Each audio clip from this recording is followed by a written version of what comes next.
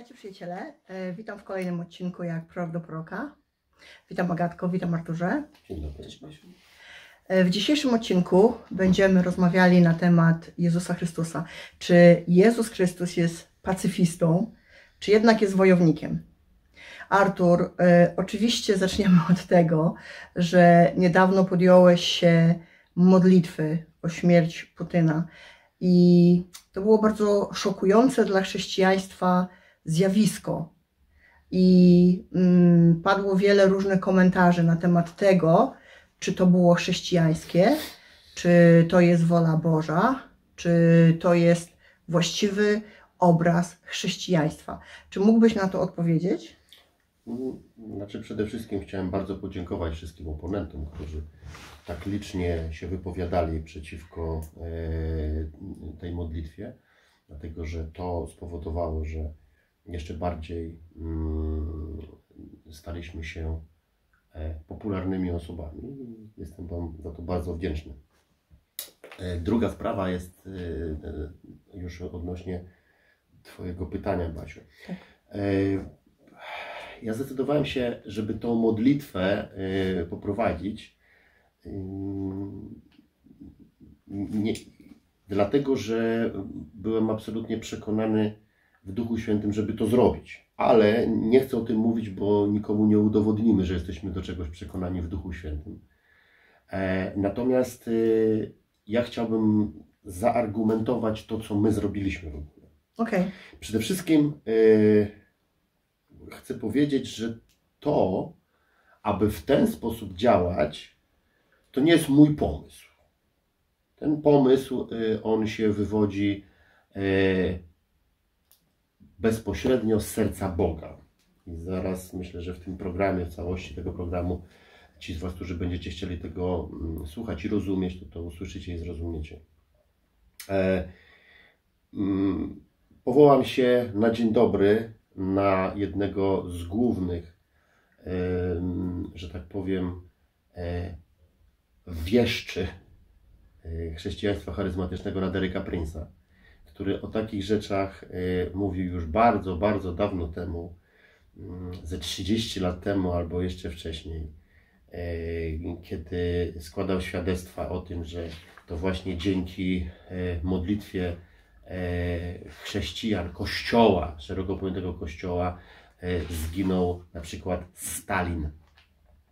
I oczywiście, kiedy się to czyta w książce, to, to, to wszyscy mówią, no tak, no, no, no okej, okej, Derek Prince, Derek Prince, ale kiedy zaczyna się to robić e, pokolenie później, e, kiedy wielu dzisiaj ludzi już zapomniało chyba, co głosił Derek Prince, jaki był Derek Prince, to, to, to powstaje wielkie larum. E, Ja bym chciał e, przede wszystkim, żebyśmy zrozumieli bardzo ważną kwestię. Bóg nigdy się nie zmienił. Bóg jaki był, taki jest. Na samym początku ja powiem, czym się różni Stare Przymierze od Nowego Przymierza. Ono się różni tylko jedną rzeczą. Jedną, jedyną rzeczą. Ta rzecz, drodzy przyjaciele, to jest Jezus Chrystus, jeśli możemy powiedzieć rzecz. Ale powiem, mówię w tej chwili jako Jezus Chrystus jako filozofia. W Starym Przymierzu, które zawarł Bóg e, z narodem izraelskim, mm, w tym przymierzu nie istniał e, produkt pod tytułem Zbawiciel. Krótko powiedziawszy, ludzie, którzy żyli w tamtym okresie czasu, e, mieli prawo, które to prawo, kiedy przestrzegali, to miało to prawo pomóc im e, żyć zgodnie mm, z jakąś, tak powiem, tak, z jakimś głównym zarysem Bożego Serca.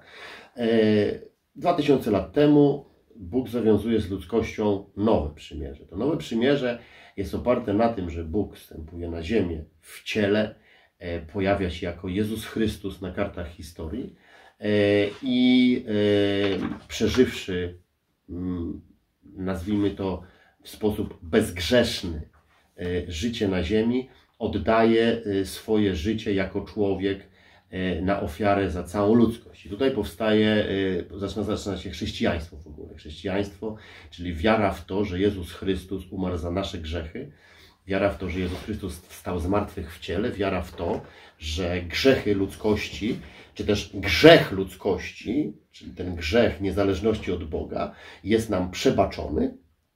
I w związku z tym y, każdy człowiek, który w to uwierzy, który przyjmie Jezusa jako Pana i Zbawiciela, ma możliwość y, zjednoczenia się z Bogiem, a po śmierci pójściu, pójścia do nieba. No i, i, i wiemy, jak tam dalej sprawy się mają, powrotne, powrotne, powrotnego przyjścia tutaj wraz z Jezusem i tak dalej, i tak dalej.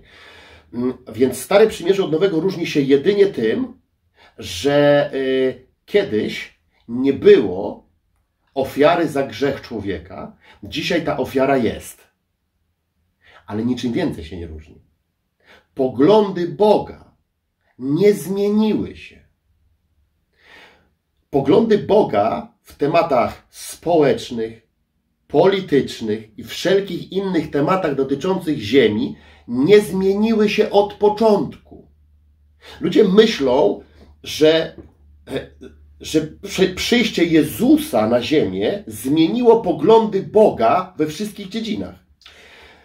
Tylko i wyłącznie nastąpiła jedna zmiana. Bóg przebaczył ludziom ich grzech niezależności od Niego, nie za darmo im przebaczył, tylko przebaczył im z uwagi na to, że sam jako człowiek umarł za grzechy ludzi.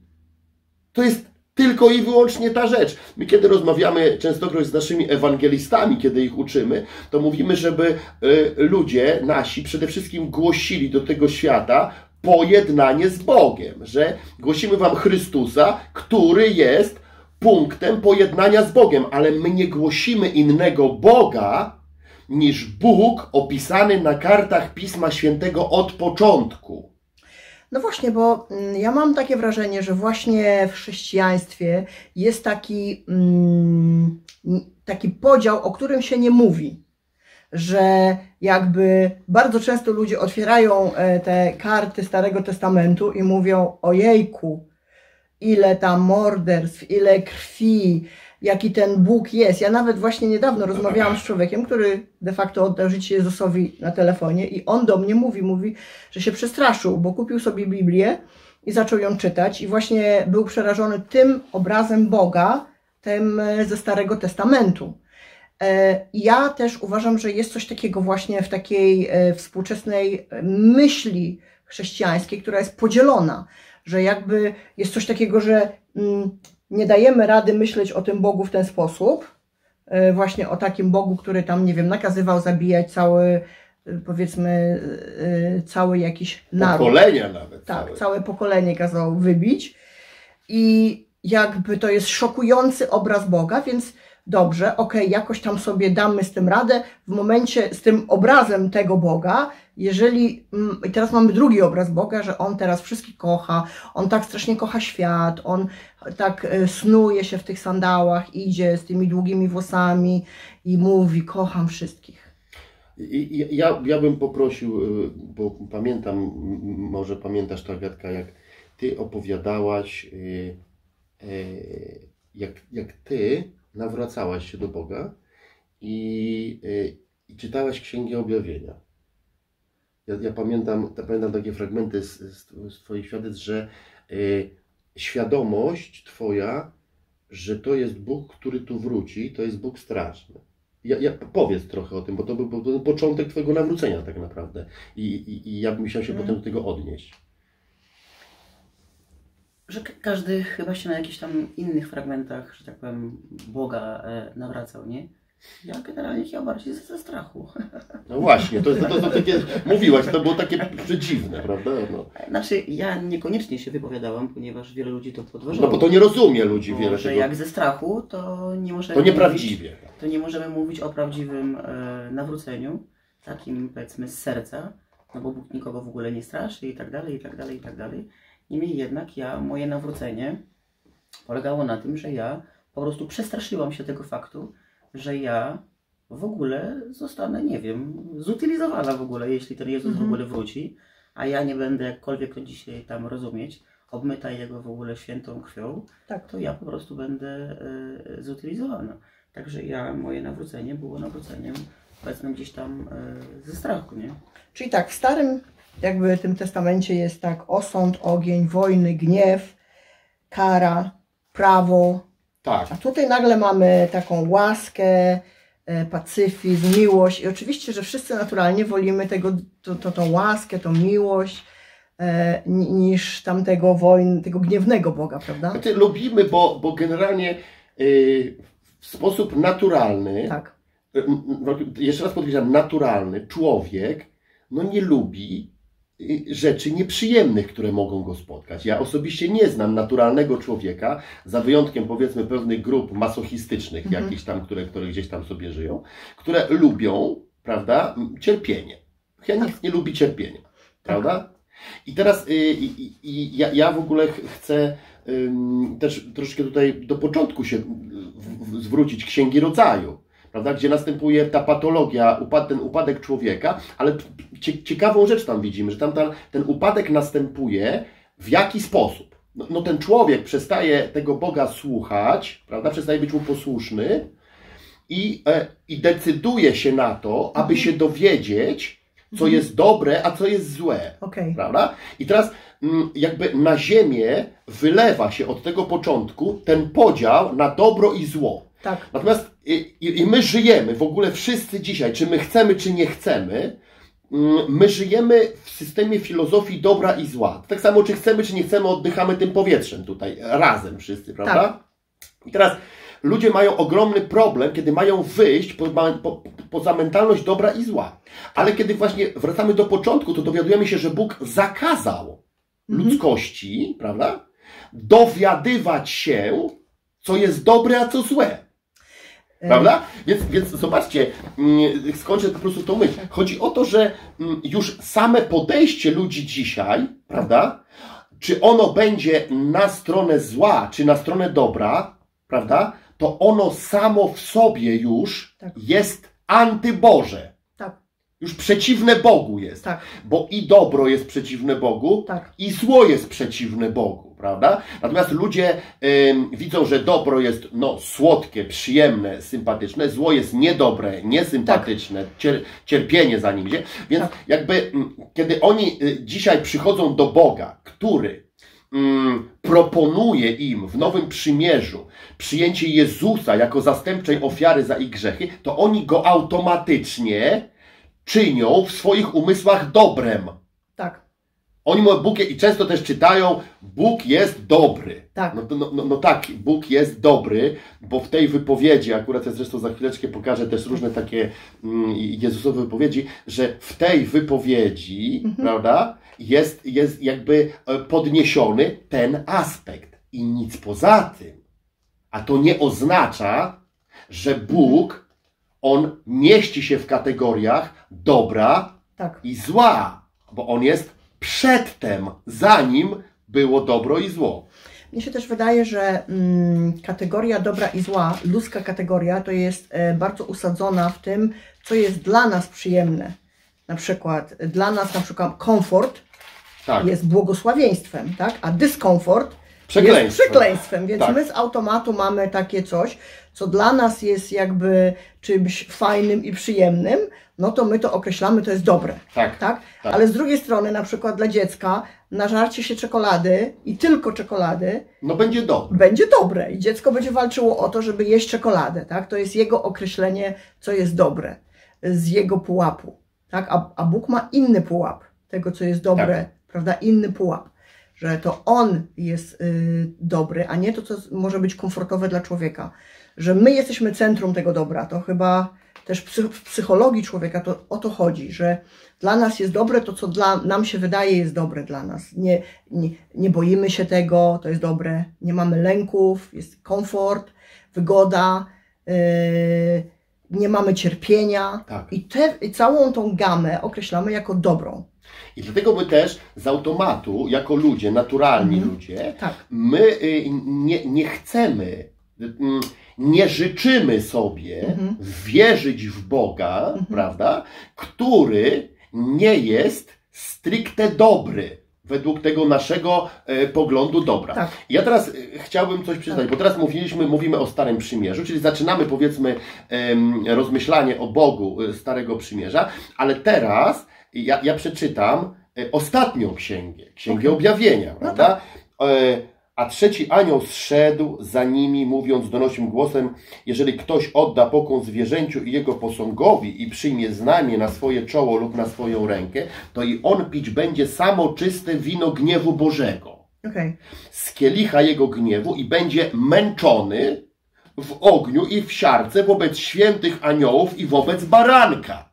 Okej. No to ja mam tutaj w mojej Biblii napisane, że przyjdzie taki moment, że Jezus Chrystus, dawca i e, dokończyciel, prawda, łaski, Tak.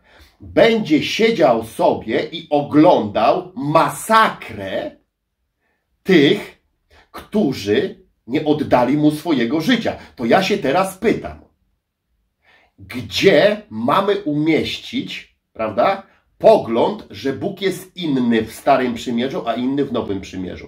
Ja powiem w ten sposób. I Stare Przymierze, i Nowe Przymierze jest pewnego rodzaju środkową częścią Boga. Boga nie wolno nazywać Bogiem Starego Przymierza lub Bogiem Nowego Przymierza. To tak jakby człowieka próbował zobaczyć od szyi, prawda, do kolan, a resztę nas nie interesuje. Piszczele, Mhm. głowa nie Mhm. są ważne. Mhm. Tu widzimy przyszłość, Tak. czyli Boga łaski, który zasiada sobie na jakimś podium Mhm. i on sobie ogląda masakrę. No przepraszam, dla mnie no to, to, to jest horror. No i tak, i dla człowieka, z punktu widzenia człowieka to jest horror. No i to jest horror. I teraz chodzi o to, że, mm, bo to jest bardzo ważne dla nas, narodzonych z Bożego Ducha ludzi, bo ja teraz w ogóle nie mówię o ludziach, którzy tego Boga nie poznali. Okej. Ale my, jako narodzeni z Bożego Ducha Mhm. ludzie, musimy do tego, Mhm. do, tych, do tych poglądów opisanych w tej Biblii podejść tak, jak jest napisane. Prawda? Nie tak, jak my sobie życzymy. Ktoś może powiedzieć, ja sobie nie życzę, żeby taki Bóg był. Ale masz prawo sobie nie życzyć. Tylko przyjąłeś tego Boga jako Pana. Tak. Czyli przyjąłeś tego Boga, nie innego Boga. Przyjąłeś tego Boga. I mm, co jest bardzo istotne, jeżeli ja rozumiem, że Bóg jest ten sam wczoraj, dziś i jutro, to ja teraz, mówiąc, że tego Boga kocham, Tak. prawda, to ja go przyjmuję takim, jakim on jest. Tak. I ja muszę zrobić coś ze swoją głową, a nie z tym Bogiem. Tak. Jeżeli ja widzę, że moja głowa, ona nie pasuje do obrazu tego Boga, Mhm. to znaczy, że coś jest z moją głową nie w porządku. I ja powiem tak, ja, y, żeby mieć te poglądy, które mam dzisiaj, ja musiałem bardzo dużo zrobić rzeczy ze swoją głową. Bo moja głowa, tak jak głowa innych ludzi, nie chciała przyjmować tych faktów. Ona sobie czytała Biblię, ta moja głowa, życzeniowo. I nie chciała widzieć Boga, który jest autorem każdego zagadnienia w życiu człowieka. Wielu ludzi, ja nie wiem, czy sobie zdaje sprawę, czy sobie nie zdaje sprawę, że Bóg jest na przykład autorem państwowości.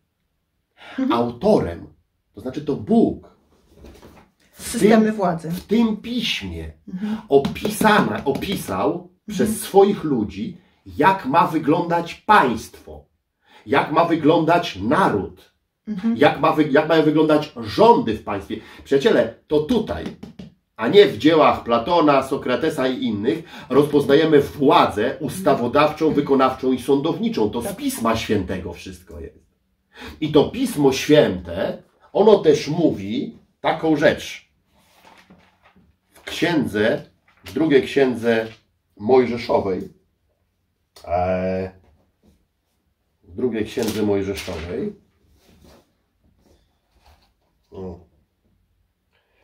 w 21 rozdziale jest napisane tak w 12 wersecie. Kto tak uderzy człowieka, że ten umrze, poniesie śmierć. I 13. Jeżeli na niego się, jeżeli na niego nie czyhał, ale to Bóg zdarzył, że wpadł mu pod rękę. Wyznaczę ci miejsce, do którego będziesz mógł uciec. Te dwa wersety pokazują świadome zabicie człowieka i nieświadome zabicie człowieka. Widzimy czystą sprawiedliwość Bożą, która mówi, jeżeli nieświadomie zabiłeś człowieka, prawda? Nie chciałeś intencyjnie tego zrobić, nie jesteś winny śmierci. I pomogę ci. Ale jeżeli zrobiłeś to intencyjnie. To należy ci się śmierć. I teraz rodzi się pytanie, czy ta wypowiedź dotyczy też, dotyczy też dzisiejszych czasów, czy ona nie dotyczy dzisiejszych czasów? No i Dziś, bo dzisiaj wielu chrześcijan mówi, ale to jest prawo. Nie, nie, to nie jest prawo. Prawo to jest 10 przykazań. To był ten dekalog. Na podstawie dekalogu Bóg zawarł przymierze. Prawda?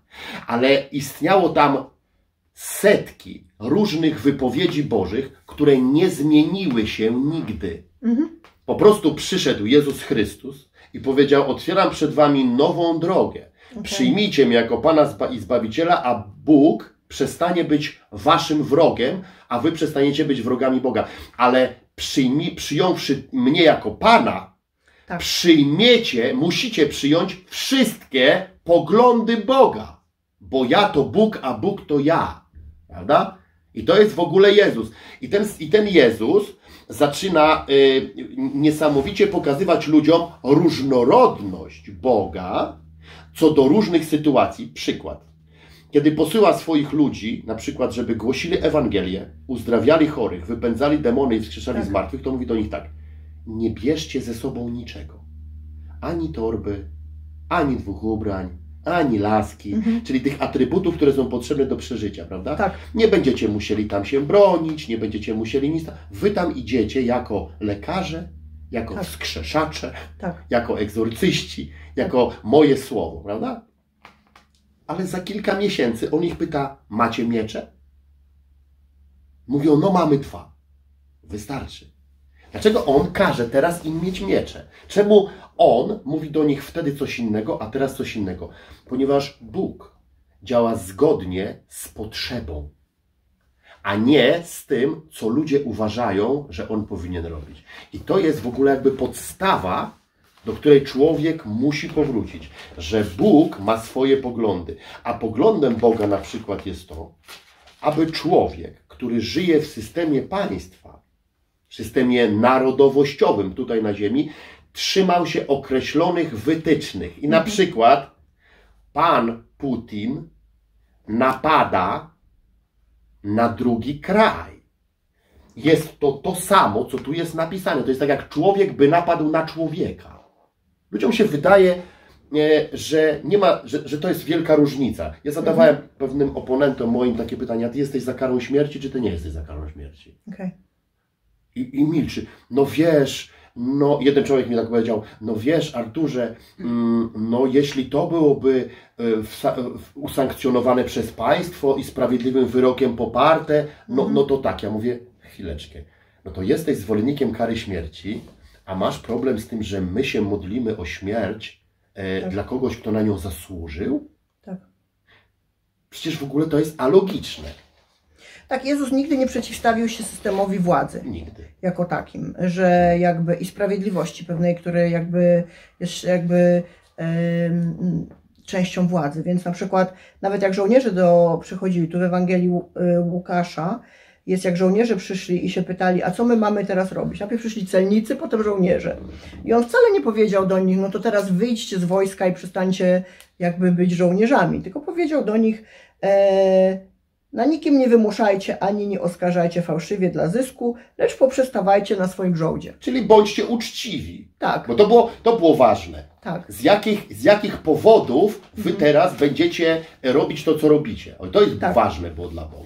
Właściwie ja bym chciała jeszcze wrócić do tego obrazu Boga, bo mm, nam na pierwszy rzut oka się wydaje, że Bóg Starego Testamentu jest taki gniewny, burzliwy, y, morderczy, ale czy to nie jest troszeczkę tak, że on ca- że cały czas przez proroków e, i przez swoich ludzi Bóg mówił: wyjdźcie ludu mój, odwróćcie się od grzechu, bo tam, cię, tam was czeka po tej stronie grzechu, czeka was śmierć, czeka was gniew, tak jakby ten gniew i przekleństwo było jakby wysłane, mm, było częścią Bożego zamysłu nawet przed założeniem świata, w kontekście, że Bóg jest źródłem tego dobra, przebaczenia, ochrony, osłony. Zawsze tak było, a poza Bogiem to właśnie nawet ten naród jego wybrany też był w niebezpiecznym miejscu. No, no tak, czy my inaczej kiedykolwiek głosiliśmy od początku? Przecież to, przecież to były zawsze nasze poselstwa. Zawsze był krzyk do ludzi, prawda? Wyjdźcie. Wyjdźcie stamtąd. Czyli jakby Ewangelia nasza, która była głoszona, Tak. zawsze była Ewangelią pełnego, kompletnego Boga. I informacją przyjdź do Jezusa, bo poza Jezusem, prawda, środowisko jest niebezpieczne. I teraz ludzie mówią, no tak, tu chodzi o to, że diabeł jest niebezpieczny. To nie chodzi, że diabeł jest niebezpieczny, ludzie. Tak. To nie chodzi, że diabeł. Diabeł to jest część środowiska.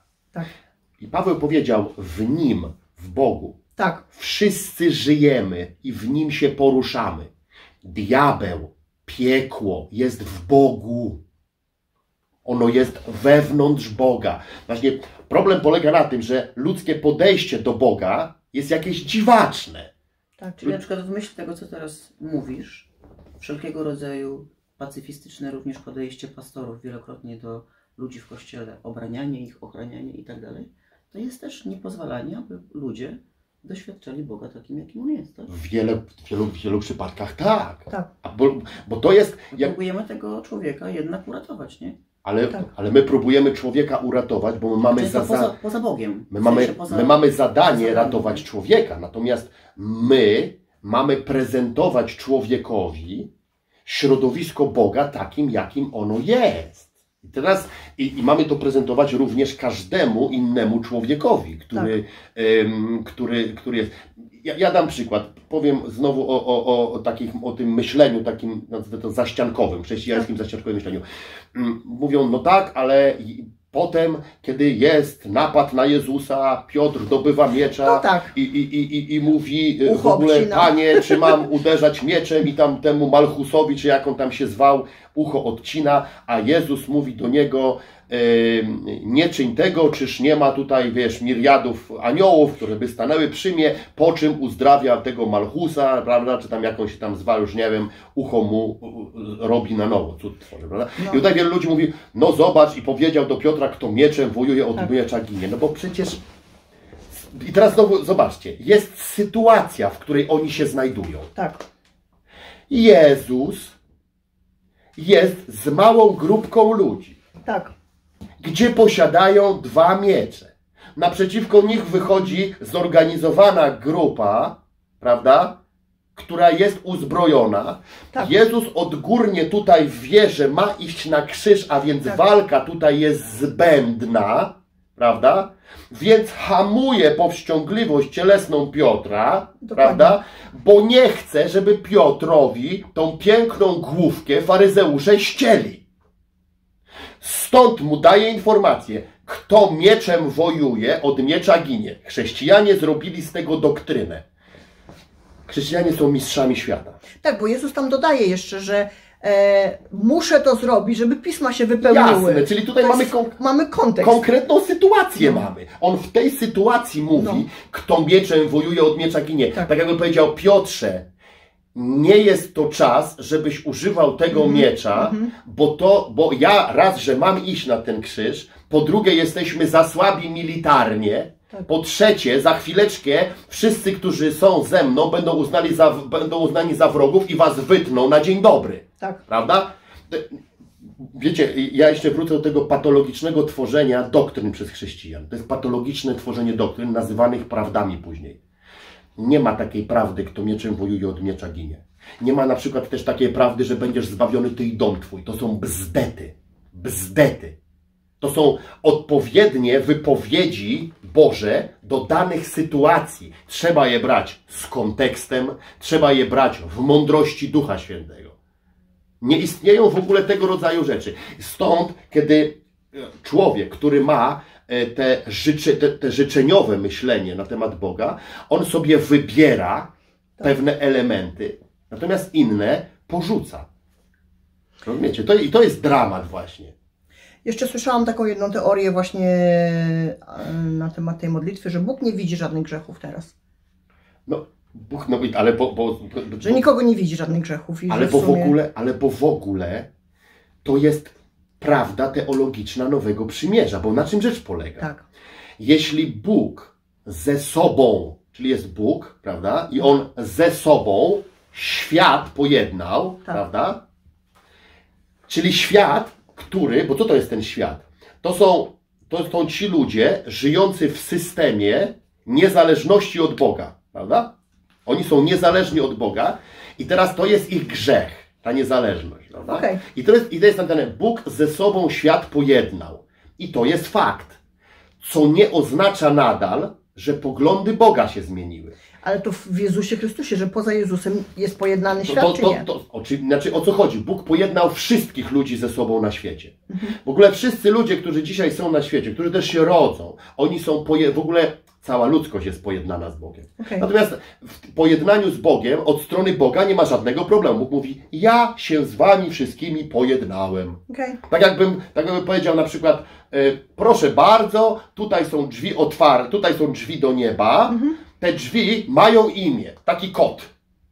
Jezus, taki kot. I teraz jeśli wy będziecie mieli ten kod, to sobie to wszyscy wejdziecie. Nie ma żadnego problemu, ja się tu z wami nie będę boksował. No prawda? I teraz, ale jeśli będziecie mieli ten kod, Okej. gdzie? W sercu. Bo tam jest, ja to sam przecież miałem, mówię, przy tym wejściu do nieba jest taki skaner, prawda? I do tego skanera trzeba serce przystawić. Jak ten skaner odczyta Jezus w sercu, to wpuści. Jak nie odczyta skaner Jezus, to nie wpuści. Ale nie dlatego, że Bóg się nie pojednał. Bo Bóg dał hasło, prawda? Do tego serca, dał tego Jezusa i dał ten skaner. Prawda? I on mówi, każdy, kto z Was ma tego Jezusa w sercu, bardzo proszę, zapraszam, dzień dobry. Prawda? I to jest to, że on się pojednał ze światem. Co nie oznacza tutaj, że się ludzie z nim pojednali, bo wielu ludzi nie przyjmuje Jezusa, prawda? Bo tutaj jest druga strona tego medalu, czyli ta ludzkość, jej wolna wola i tak dalej, i tak dalej. Natomiast przy tym wszystkim zasady Boże, które są dla potrzeb ziemskich, nigdy się nie zmieniły. I teraz zasady państwa, narodów, zależności społecznych, które Bóg ustalił przed ludźmi jeszcze, wciąż są te same. Stąd na przykład kara śmierci, stąd badanie każdych zachowań ludzkich. Przecież ludzie mówią tak, no tak, już dzisiaj 10 przykazań nie obowiązuje. Ja mówię, pewnie, że nie obowiązuje 10 przykazań. I się patrzą często na mnie. Naprawdę tak? Ja mówię, absolutnie jestem pewny, że 10 przykazań nie obowiązuje. Do czego nie obowiązuje? Nie obowiązuje do wejścia do nieba. Okej. Ale nadal nie wolno kraść. Nadal nie wolno mordować. Nadal nie należy cudzołożyć. Nadal. Nie dlatego, że się do nieba nie wejdzie, tylko dlatego, że tutaj na tej ziemi będzie się pod, podlegało nadrzędnym sankcjom, które Bóg utworzył przed założeniem świata. Ludzie myślą, że mogą sobie chodzić po ziemi i robić co chcą, bo się narodzili z Bożego Ducha. I oni będą latać nad tym całym systemem. My przelecimy nad tym, będziemy się modlili o Putina, żeby on był dobry teraz. Wiecie, to, to, to, jest, to jest chora mentalność, niezrozumienie Pisma Świętego. Bo to jest, to, to jest niezrozumienie na poziomie doktrynalnym Pisma. Ludzie mylą pojęcie sprawiedliwości Bożej z zasadami Bożymi, które są starsze niż czas. No dobrze, ale na przykład jeszcze taki e, kolejny argument, że na przykład Jezus się nie przejmował e, na przykład tym, że była kupa grzechów w Rzymie, czy że, że byli pod okupacją rzymską. Na przykład Jezus w ogóle takich tematów nie, nie zajmował się takimi tematami. A jeszcze jedna rzecz, że na przykład te dzieci w Betlejem umierały w związku z tym, że również tego króla Harold chciał wyeliminować, więc i też nie było żadnego przejęcia się tymi dziećmi. Więc dlaczego my się przejmujemy Putinem? E, Bo, bo nam zagraża. Bo, bo, bo jest zagrożeniem. Jezus nie widział zagrożenia dla niego w danej chwili. Więc ja się pytam, czemu miałby się czymś Przejmować. On, się, on nie widział zagrożenia. Natomiast e, widzimy w innych momentach, że Jezus widział zagrożenie. Przykład. Tak. Uzdrawia na przykład e, dziesięciu trędowatych, prawda? Mhm. I mówi, idźcie teraz do kapłanów, prawda? Tak. I powołajcie się, że Bóg was uzdrowił. W innym wypadku, on uzdrawia kogoś, mówi, tylko nikomu nie. Okej. Czemu on nie chce, żeby mówić komuś? Dlatego, żeby nie zostać wykrytym. Ponieważ on ma do wypełnienia konkretny cel. Ja mówię, Jezus był strategiem. Strategiem. On wiedział, że musi pewne rzeczy zrobić tak, aby nikt się nie dowiedział. Inne musi robić jawnie, żeby się wszyscy dowiedzieli. Tak. Więc to nie było do końca tak, że on się nie interesował, czy interesował, tylko on się interesował określonymi rzeczami i, i wobec tych określonych rzeczy działał strategicznie. No dobrze, ale wiesz, to jest takie pytania padły, czy mamy teraz eliminować każdego jakiegoś imperialistę? Nie, dlaczego? Nie, dlaczego? Absolutnie nie. Absolutnie nie. Dlaczego? Ponieważ nie każdy imperialista na dzisiaj, bo to jest, to jest jeszcze inne, to jest pytanie dane, Tak. y, czy my mamy eliminować? My to znaczy kto? My Polacy, tutaj inaczej, my Kościół tu w Polsce? Niekoniecznie. Tak. Ale jeśli prowadziłbym kościół w Sudanie, absolutnie modlił się bym przeciwko w ogóle tym, którzy zagrażają w ogóle e, ludziom w Sudanie.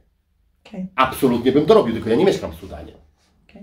Dlatego ja, ge- generalnie jest bardzo ważna sprawa, że e, trzeba w chrześcijaństwie chodzi o to, żeby mieć odpowiedni stosunek również do całego grzechu. Grzech nie może być dla nas bolączką.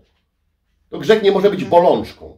Prawda? On nie może zaprzątać naszego umysłu. Z drugiej strony musimy patrzeć strategicznie, który z grzechów nas otaczających może przeszkadzać nam personalnie Tak. prawda? w zrealizowaniu planu Bożego. Musimy postępować Chrystusowo.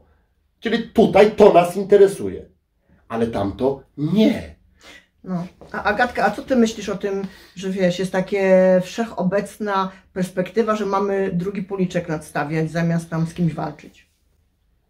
No to są takie, wiesz, było od, od dawien dawna e, wypaczenia. To jest tak jak Artur na, na samym początku powiedział, jeśli człowiek nie zna tego Boga takim, jakim w ogóle On jest, może ja w ogóle dotknę tematu w ogóle Nowego Narodzenia, dlatego, że w ogóle masa ludzi to wielokrotnie nie rodzi się na nowo. Ja też mam takie wrażenie w ogóle. Coraz Nie rodzi się na nowo, naprawdę. W ogóle ludzie nie mają świadomości przebaczenia grzechów. Kiedy ja się naprawdę nawracałam, to ja, ja miałam w ogóle tą. Ja może zacznę od tego. Jak Artur się nawrócił i powiedział, w ogóle w różnoraki sposób ogłosił mi Ewangelię. Eee, w różny sposób. Eee, agresywnie, pokojowo. Ale pamiętam, jak powiedział do mnie coś takiego, że może być tak, że ja zostanę stąd zabrany, a ty zostaniesz na ziemi. Ja wiem jak to, no bo o tym mówi Biblia. Że dwóch tam będzie na roli. Tak, tak. Dwoje będą w łóżku spać, Tak. jedno będzie zabrane, drugie zostanie. Ja po prostu, wracając do tego, co powiedziałam na samym początku, że ja tak naprawdę nawracałam się na innym aspekcie Boga. Ja po prostu z lęku, ze strachu w ogóle, że ja na tej ziemi po prostu zostanę, nie będę obmyta krwią Jezusa, tak? I po prostu zostanę zgładzona. I ile razy było w nocy tak, że na przykład budziłam się, patrzę, nie ma Artura w łóżku. To ja po prostu tylko zaglądałam, żeby zobaczyć, czy powiedzmy jakaś tam piżama czy bielizna leży. Ja mówię, nie ma, to znaczy, że cały w ogóle wyszedł, e, wyszedł z łóżka. I moje nowe narodzenie to było takie stuprocentowa pewność i przekonanie, że, ta, że ja w ogóle będę zgładzona bez tego Jezusa. Że ja bez tego Jezusa to w ogóle będę w piekle. Wieczność spędzę w piekle. A dzisiaj, jak rozmawiam w ogóle e, z wieloma ludźmi, jak dotykamy tematów w ogóle Nowego Narodzenia, to ja nie wiem, czy ludzie mieli świadomość przekonania o tym, że bez Jezusa to jest piekło. Tak. Jakkolwiek to w ogóle powiedzieć. Stąd ja nie mam problemu dzisiaj, kiedy ktoś atakuje mnie i zagraża mi wziąć broń e, i po prostu strzelić mu prosto w łeb. Gdzie tak naprawdę jest masa rzeczy, które nic nie mają wspólnego z Bogiem takim, jakim On po prostu jest, nie? To jest. y, ja, Wiesz, to jeszcze No dodam mów, taką mów, e, jedną rzecz. Ja w swoim życiu e, chrześcijańskim miałam do czynienia z jednym takim urzędnikiem Bożym, który w tamtym czasie, kiedy mnie e, kształcił, Często jak o tym mówię, to ja w ogóle mam łzy w oczach, bo mi jest żal człowieka, że człowiek będąc w takim miejscu opuszcza potem takie miejsce i staje się chrześcijańskim pacyfistą. Ale jego, e, jego w tamtym czasie podejście, jego odważne wypowiedzi w temacie religii, w temacie w ogóle Boga, jakim On jest, a, ja, a, jakim, a jakim nie jest. Jako pierwsi chyba publicznie modlili się e, na forum przeciwko e, homoseksualizmowi. To Tak. w ogóle ortodoksi. Ortodoksi. I takie coś w ogóle, taki urząd w ogóle Boży, on mnie kształtuje. On mnie w pewnym momencie kształtował, mnie też ciągnęło do e, takiej osoby, ponieważ ja w ogóle zrozumiałam, że to, o, to jest mój brat. W sensie urzędnik, starszy brat, on może mi uczyć, ale, ale mój brat w ogóle, my obmyci w ogóle e, krwią Jezusa i na tamten czas ja miałam wiele, powiedzmy, dziur e, w swojej duszy, wiele nieprawidłowości i tak dalej. On mówił bardzo ortodoksyjne e, rzeczy, między innymi to, że Bóg, powiedzmy, nie kontroluje ziemi i tak dalej, i tak dalej, ale to we mnie wchodziło. Ja się z tym po prostu zgadzałam, bo ja poznałam Boga takim, jakim On po prostu jest. rzeczywistego Boga. Rzeczywistego Boga. Ten człowiek też, o którym Agata mówiła, nie wymieniamy tutaj jego nazwiska, był w miejscu, w którym naprawdę e, Duch Święty prowadził go do mm, wielkich ikon chrześcijaństwa e, tamtego czasu. Zresztą wiele z nich nadal jest tymi ikonami.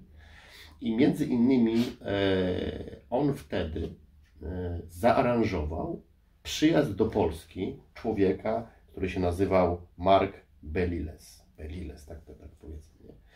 To jest tego książka. Bardzo proszę, zobaczcie sobie, sobie ją kupcie, zapłacie za nią wszelkie pieniądze. To jest książka, która się nazywa e, Uwalnianie mm, Narodów. E, ja jak się dowiedziałem, że ten człowiek, ten Mark będzie w Polsce, to natychmiast rzuciłem wszystko i tam pojechałem, miałem tylko jedno spotkanie w Polsce, wtedy pamiętam w Wilanowie, w Pałacu Wilanowskim. E, dlaczego też e, ten człowiek mnie interesował? Jeszcze nie wiedziałem o jego poglądach, ale pamiętam, że rzecz była, działo się to jakieś 14 lat temu, e, kiedy modliłem się do Boga, chodziłem, miałem wtedy długi post, modliłem się, mówiłem, Boże, chcę budować kościoły, ucz mnie jak mam prowadzić ludzi, ucz mnie tych rzeczy i pamiętam, e, w tle leciało jego głoszenie, tego człowieka. I, i- i, I usłyszałem w ogóle taki tekst. O jakże wiele rzeczy, o jakże wiele darów proszą chrześcijanie Pana Boga, a dzieci są darem Pana, a tak niewielu chce mieć wiele dzieci. I ja upadłem na ziemię. I Duch Święty powiedział wtedy do mnie: Chcesz budować kościoły, a boisz się mieć dziecko. Boisz się, że sobie nie poradzisz. Ja pamiętam wieczorem szedłem do Agaty, mówię, Bóg mi powiedział, żebyśmy mieli dziecko. E, Wtedy powstała Sara. Sara się urodziła, jest, jest, jest naszym dzieckiem dzisiaj. Ale jak się dowiedziałem, że ten człowiek jest w Polsce, natychmiast rzuciłem wszystko, zapłaciłem duże pieniądze, żeby pojechać do niego na spotkanie. E, On wtedy te książki e, e, jakby tam były sprzedawane. Ja kupiłem tą książkę i kazałem mu się tutaj podpisać w tej książce i on napisał w ogóle dla Artura i dla jego córki, dla rodziny i tak dalej, to po angielsku napisane. Ale ja tą książkę zacząłem czytać i okazuje się, że o co chodzi? Ten człowiek, jaką on miał i ma służbę, to jest człowiek, którego Bóg poprowadził jako doradcę do głów państw. On ma służbę jako doradca duchowy głów państw. On był doradcą duchowym George'a W. Busha. Okej. To pod jego duchowym autorytetem George W. Bush nakazał wypuścić rakiety na Irak. Okej. On był przyjacielem Mandeli. Tak. To dzięki jego doradztwu Mandela zbudował to, co zbudował. Ten człowiek opisuje w tej książce, w jaki sposób Bóg dał projekt budowania narodów, państw i w jaki sposób Bóg, jakie, jakie ma Bóg poglądy. I kiedy e, ja dzisiaj od, mówię o tych, o, o, o, o tych rzeczach, o których mówię, że Bóg nie jest pacyfistą, że Ewangelia nie jest pacyfistyczna. On zawsze tutaj w ogóle używa takiego sformułowania, że Ewangelia w ogóle nie jest pacyfistyczna. Ewangelia nas, zobaczcie, w ogóle Ewangelia nas nakłania do różnych rzeczy, na przykład do buntu w narodzie. W ogóle, jak my, jak przed COVID, i my oficjalnie powiedzieliśmy, nie interesują nas wytyczne państwa. To do mnie się wysypały informacje, jak możesz występować przeciwko władzy. Ja mówię, no bo władza jest bezbożna. I ja na dzień dobry w Piśmie Świętym mam napisane tak. żeby się zbuntować przeciwko tej władzy. W innych miejscach jest napisane, że nawet mamy prawo wyemigrować z miejsca, porzucić wszystko, jeśli nas nie chcą słuchać. Możemy wszystko zostawić i odejść. I jest też w tej Biblii napisane, że mamy prawo do samoobrony. I to ten sam Bóg, który umarł jako Jezus Chrystus za nasze grzechy, dał nam szansę wejścia do nieba, uczy nas jednej strony mówiąc tak, wszelka władza ode mnie pochodzi. Prawda? Czyli urząd, na którym siedzi Putin, pochodzi od Boga. I jest wam ku dobremu. Ale kiedy jest wam ku dobremu? Jeśli zrealizuje moje prawidła. A jeśli nie realizuje moje prawidła, to wy jako Kościół, czyli pierwsze zbrojne ramię moje na ziemi, bo jesteście moim ciałem, macie za zadanie zmienić rząd. I to jest w ogóle coś, czego dzisiejsi chrześcijanie, wielu, wielu dzisiejszych chrześcijan w ogóle nie pojmuje. Jak to? My mamy prawo wystąpić przeciwko e, legalnie powołanej władzy? Tak. Jeśli ta legalnie powołana władza występuje przeciwko głównemu władcy. Bo to to jest konstytucja władcy. I pod tą konstytucją mają zafajdany obowiązek być wszystkie inne konstytucje. To pod autorytetem tego władcy muszą funkcjonować wszyscy inni władcy. I jeśli jakikolwiek władca na tej ziemi występuje przeciwko temu władcy, to my, którzy jesteśmy eklezja, czyli Kościół, czyli zbrojne ramię Boga, mamy mandat i obowiązek tego przywódcę zdjąć. I teraz na tej podstawie modliliśmy się, żeby zdjąć Putina. Nic prostszego. Wykonywaliśmy normalną robotę Kościoła.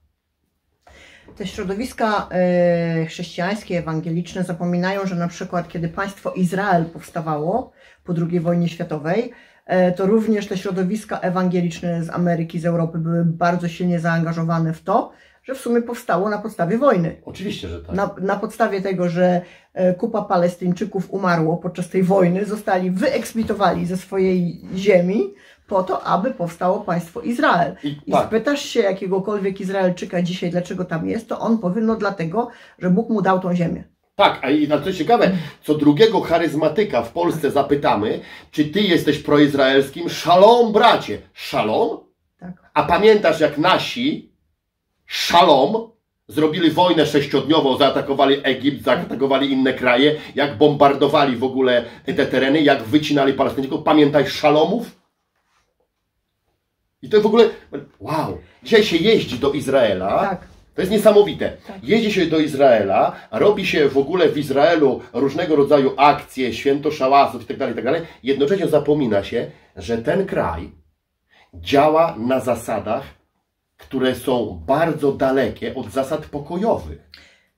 Oni nie są ludźmi pokoju na ziemi. Oni są okupantami uznanymi dzisiaj, bo oni okupują, według w ogóle standardów humanistycznych, Palestynę. Oni nie są pacyfistami, kochani Izraelici. Nie są pacyfistami. Dlaczego nie są pacyfistami? Bo Bóg, zarówno Jahwe, jak i jego syn Jezus, nauczyli ich tego, aby nie być pacyfistami. Em, Artur, czy to nie jest tak, że mm, w większości religii, e, i ja uważam, że w sumie w polskim myśleniu jest troszeczkę, e, no nie troszeczkę, ale jesteśmy przez przesączeni tutaj w Polsce e, katolickim myśleniem. Mm, Na przykład, że mm, w, religii katolickiej jest bardzo wysoko postawiony kult życia. Na przykład dlatego jednym z takich najsilniejszych aktywizmu na przykład jest działanie antyaborcyjne. Ja nie chcę się zagłębiać w temat aborcji, tylko chodzi o to, że to jest ich główna e, jakaś taka mm, dziedzina aktywności na przykład, no kiedy to są po prostu y, ludzie, którzy nie oddali życia Jezusowi bardzo często. Ja nie mówię, że wszyscy, no ale doktrynalnie to są ludzie, którzy polegają na sakramentach, na, y, na Na uczynkach. prawie. Tak, raczej niż na y, narodzeniu się na nowo, jeżeli chodzi o doktrynę nawet. Mm, Natomiast, y, bo ja mieszkając za granicą, mieszkając w Australii, mm, tam nie, nie czułam tego kultu życia tak bardzo silnie. Wręcz powiem, że tam było troszeczkę inaczej. Tam na przykład jak byli przedstawiana historia wojny, to ona była przedstawiona jako, że ludzie położyli życie, żeby inni mieli życie. Tak? I to było nawet coś takiego pozytywnego, że wchodziło się w takie myślenie o tym w sposób taki dziękczynny bardziej.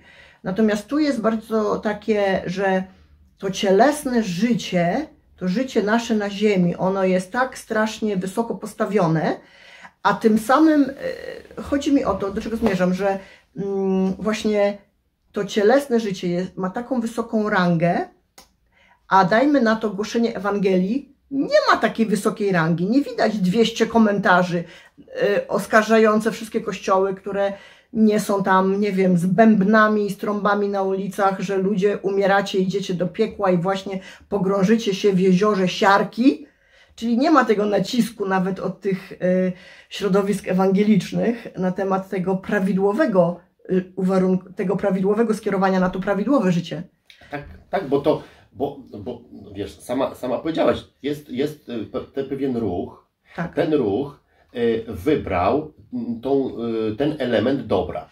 Tak. I i teraz na tym zbudował się ten system. Chociaż powiem szczerze, że tak naprawdę ten system katolicki, to on dzisiaj ma taki wymiar. Bo wystarczy, jak spojrzymy w naszą historię Polski, nie tam, tam bardzo daleko, ale w historię Polski, no to tutaj widzimy, kurczę, no idziemy z Bogu, Bogu rodzice śpiewamy, idziemy tych krzyżaków, prawda, tłuc. Gdzieś tam indziej sztandary, zawsze klecha szedł z przodu z krzyżem, prawda, i, i no, tam wojnę prowadził. Czyli tak naprawdę, jak Polsce zagrażało coś, to było wszystko, wszystko było elegancko, to możemy tego wroga, Moskala czy innego tam wycinać, tu Kościuszko, tutaj nie, przecież to są w ogóle dzisiaj święta w ogóle. Tak. I, i, i, i, pomniki się im buduje i wszyscy katolicy, y, szczególnie w Polsce, bo to jest taki ruch, ja to nazywam narodowo-katolicki. To jest narodowo-katolicki, Tak. że mamy te wszystkie takie wojny, które były wojnami wyzwoleńczymi, to były te wojny w ogóle porządne. A teraz się raptem stało, że przez ostatnie kilkadziesiąt lat w tej Polsce wojny się nie pojawiały, prawda? No to teraz katolicyzm stał się tym ele, takim propagatorem e, łagodności, dobroci. Czemu? Bo to jest chodliwe. To jest chodliwe, bo to jest wszystko poruszanie się właśnie w parametrach życzeniowych człowieka. Dzisiaj sobie człowiek życzy, Tak. żeby było dobrze. Tak. Prawda? On sobie tego życzy. I ruchy protestanckie, one w ogóle poszły dokładnie w tą samą stronę. Ja w ogóle nie wiem, czemu nie chcą zobaczyć, że ich historie były zasadniczo różne. Że wtedy, kiedy trzeba było, no to okej, to, to, to my walczymy. I teraz kult życia. Dlaczego się tworzy kult życia doczesnego? No bo w ogóle, jeżeli idziemy za parametrem dobra, automatycznie, krok po kroku, my zaczynamy myśleć humanistycznie, czyli pro-człowieczo teraz. A więc człowiek żyjący teraz zaczyna być numer jeden. I mamy w ogóle y, wszystko to, co jest związane z doczesnością, Tak. podniesione do rangi bóstwa. Tak. I w ogóle mamy taki, taki Tak. system. I teraz bronimy tego wszystkiego. No nie, no bo teraz jest, y, no skupiamy się, bo o, w ogóle mm, o, usuwają ciążę. No to, to, to no, no dobrze. No i teraz ja się pytam, jakby Jezus stał tutaj, prawda? I by go zapytali tak, Jezu, czy Ciebie nie boli, że oni usuwają tam ciążę w tej klinice aborcyjnej? Ja sobie naprawdę wyobrażam jego odpowiedź, bo ja mam takie jego wypowiedzi tutaj, kiedy przyszli do niego i mówili: Jezu, czy ty nie bierzesz pod uwagę tego, że tam w ogóle Herod zabił, wtargnął do świątyni, powyżynał ludzi, to się działo tam w ogóle parę metrów dalej, a Jezus się nie rusza i mówi: A czyż oni byli większymi grzesznikami niż ci, którzy w ogóle umierają na ulicach Jerozolimy? Rozumiecie? To jest w ogóle e, jakby ukierunkowanie zupełnie inne niż ukierunkowanie Boże. Bóg świat ze sobą pojednał, aby ludziom dać życie wieczne. Tak. Okazuje się, że w kategorii wartości życie wieczne stoi wyżej niż życie doczesne. Tak. W ogóle w oczach, bo dlaczego Bóg zbawia świat? Dla życia wiecznego, a nie dla życia doczesnego. Ja jestem ultracharyzmatykiem. Ja wierzę w uzdrowienia, w uwolnienia, w zaopatrzenie finansowe, ja głoszę prosperity, wszystko to, co jest potrzebne na ziemi, bo taki jest nasz obowiązek i to jest w ogóle prawda e, Boża. Natomiast to jest doczesne. Przecież to wszystko zgnije. To się w proch zamieni. W proch się zamieni moje ciało, w proch się zamienią moje ciuchy, w proch to się wszystko zamieni. To coś nie będzie miało wieczności. Po prostu nie będzie miało. Pieniądze, które mamy, nic nie będzie miało wieczności. Natomiast to nie jest mile słyszane i mile widziane. Dlatego jest obraz Boga, który broni doczesnego y, życia cielesnego. I stąd katolicki y, system, on na ten grunt wchodzi, no i tam buduje imperium. Bo to jest zgodne z obecnym pragnieniem człowieka. Żyj, jakby nie martwmy się w ogóle niczym, żyjmy tutaj dzisiaj, Bóg z nami. A ja takie, takie praktyczne jeszcze pytanie, czyli powiedzmy, załóżmy hipotetycznie, że wojna by wybuchła w Polsce.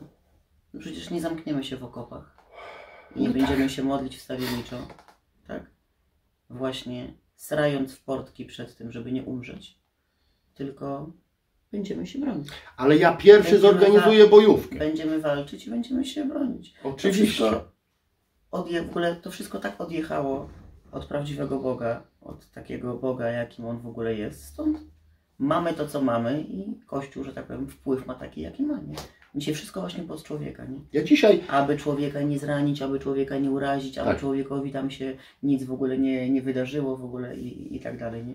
Dzisiaj nawet dzieci się broni i się dzieci nie wiem, chroni się w taki sposób, żeby sobie, nie wiem, zęba nie wybiło, ręki nie zwichnęło. Ja nie, w ogóle nie mówię o tym, Bakterie, że... żeby nie złapał. Tak, kurczę, ja powiem to publicznie, bo ja kiedyś miałam taką koleżankę i ona mnie w wakacje zabierała do swojej babci na wieś i my po prostu się podkładałyśmy pod krowy na łące i żeśmy w ogóle z tego cyca ciągnęły mleko i ja nigdy chora nie byłam. Ja ja, człowiek w naturalny sposób w ogóle był odporny, był. odporny, chroniony i tak dalej. A dzisiaj wszystko, żeby tylko żeby się nam nic nie stało, żeby sęba nie wybił, ręki nie zwichnął, e, zajada, żeby nie miał, żeby oko mu nie ropiało. Dzisiaj ochrona człowieka, nie? Ale ja, ale ja rozmawiam dzisiaj z ludźmi, którzy przychodzą do nas jako, jako do kościoła, jako do ruchu, po różnego rodzaju pomoc duchową i kiedy ja proponuję różnego rodzaju działania pomocowe, to ja, ja słyszę, ale wiesz, ale czy ja to wytrzymam, ale czy ja dam radę, ale ja, ja mówię, Chryste, jedynk, naprawdę mnie o to pytasz, czy Ty dasz radę? Przecież w ogóle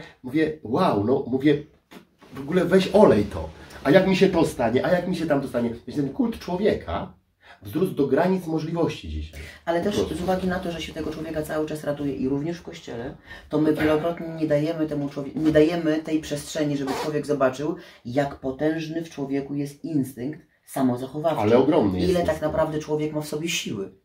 Przecież w ogóle Artur siedział tyle lat w więzieniu e, i wielokrotnie nie miał nic, a żył. Przetrwał. W ogóle kurczę, z jedną igłą, z jakimś naparstkiem, z jakąś jedną, nie wiem, kaszką w ogóle i jakimiś tam płatkami błyskawicznymi. Dzisiaj jest potężna ochrona właśnie człowieka. Bo kult i kult człowieka doprowadza do tego, że jest pod ten obraz jakby tego, jakby tego człowieka, którego my sobie wymarzyliśmy, my tak. podciągamy Boga. My teraz mówimy, oto to taki jest Bóg, my, my chcemy, żeby był taki, my bardzo pragniemy, żeby był taki. Jak ja nawet kiedyś z takim księdzem nawróconym rozmawiałem i on mówi w ogóle, ten ksiądz mówi, dzisiaj po prostu ludzie mm, wyobrażają sobie Boga, bo oni potrzebują mieć takiego Boga, e, jak e, potrzebują innych rzeczy. Na przykład ktoś potrzebuje mieć telewizor, samochód, dom i on potrzebuje mieć Boga. Tylko to nie jest jakiś Bóg. Bo to nikt nie kupi sobie jakiegokolwiek telewizora, jakiegokolwiek samochodu, jakiegokolwiek domu. Mhm. Prawda? My chcemy mieć coś takiego, co nam odpowiada. I w to wszystko też wszedł obraz Boga. I no i co? No i mamy Boga pacyfistę. Mamy Boga pacyfistę. I teraz y, ktoś powie, no tak, bo wy głosicie Boga rewolucjonistę. Nie, nie o to chodzi. Ja głoszę Boga takiego, jakim Bóg jest. Ja naprawdę jestem w stanie poświęcić się dla drugiego człowieka. Ja jestem w stanie człowiekowi, bo ja to też robię, y, oddać mu różne rzeczy, samemu w cudzysłowie nie zjeść, a dać jemu. Bo taka jest sytuacja. W jednej sytuacji odejmę sobie od ust i dam człowiekowi, a w innej sytuacji bez żadnego problemu, właśnie gdyby był napad na Polskę, my byśmy zorganizowali bojówkę. Ja bym był w tej bojówce. Ja bym tych, tych wrogów bym strzelał do nich. No, a co z tym cytatem, że nie, nie walczymy z ciałem, tylko z duchowymi zwierzchnościami? No bo my, bo o co chodzi? Ten znowu tekst Pawłowy, który tutaj pokazuje, tak. on pokazuje, że w jaki sposób my, narodzeni z Bożego Ducha ludzie, mamy występować przeciwko problematyce, która jest wokół nas. Tak. Więc najpierw Paweł mówi, my nie walczymy z krwią i z ciałem. Tak. I on nie mówi tego, że nie walczcie z krwią i z ciałem. Tam nie jest tak napisane. Tak. Tam jest napisane, nie walczymy z krwią i z ciałem, tylko z nadziemskimi zwierzchnościami, mocami i tak dalej. Czyli ten, ta wypowiedź Pawła pokazuje, z kim my walczymy przede wszystkim. Tak. To jest to, z kim my walczymy przede wszystkim. Czyli on pokazuje, żebyście nie myśleli sobie, że te problemy, które macie, one są natury ludzkiej. Paweł uczy, niech one, my zrozumcie, że one są natury demonicznej, więc przede wszystkim uderzajcie w strukturę demoniczną. Natomiast y, przy tym wszystkim fajną rzecz przytoczę taką, którą powiedział mm, jeden z największych ewangelistów, który się nazywa Anakombia, który ewangelizuje mm, Amerykę Południową. I on, y, on powiedział, że przez lata ewangelizacji, chodzenia y, y, y, jako ewangelista po tej ziemi, nauczyłem się jednej rzeczy, bardzo ważnej, że czary są ściśle związane z czarownikiem. I jeżeli nie wyeliminuje, jeżeli nie udało nam się wyeliminować czarownika na danym terenie, to czary dalej, dalej działały. Okej. I to nie chodziło o to, że oni brali czarownika, zabijali, prawda? Wcale nie na tym rzecz polegała. Chodzi o to, że oni mieli świadomość, że jeżeli czarownik znajdował się w jakimś miejscu, prawda, to oni i, i on y, nie, nie, nie usunął się z tego miejsca, Tak. prawda? To, to te czary, które oni gromili nad nim, były tylko chwilowe. My, kaznodzieja z karabinem, znacie ludzie i film, i historię. On chyba w Sudanie e, w ogóle funkcjonuje, już nie pamiętam. Zrozumiał to bardzo dobrze. On się codziennie modli o to, żeby e, muzułmańscy bojówkarze byli uwalniani od demonicznych sił. Ale kiedy on staje w sytuacji takiej, w której widzi, że ci bojówkarze, prawda, oni wiozą dzieci na spalenie, porywają, niszczą, no to do nich strzela.